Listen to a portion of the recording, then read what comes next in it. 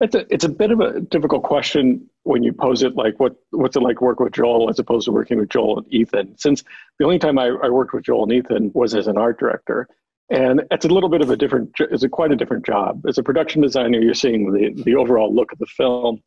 As an art director, you're kind of getting into the nuts and bolts, and you're supporting that production designer. So in the case of True Grit, this amazing production designer, Jess Gonchor, it was my job to kind of make sure Jess's vision went forward.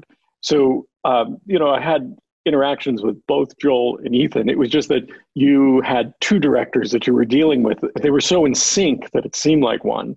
And working with just Joel was just such a different experience because there I was uh, in the production designer role where I'm overseeing the whole thing as opposed to True Grit, making sure that one specific set is really working at that time. Um, it's it's kind of a your point of view is completely different as a production designer.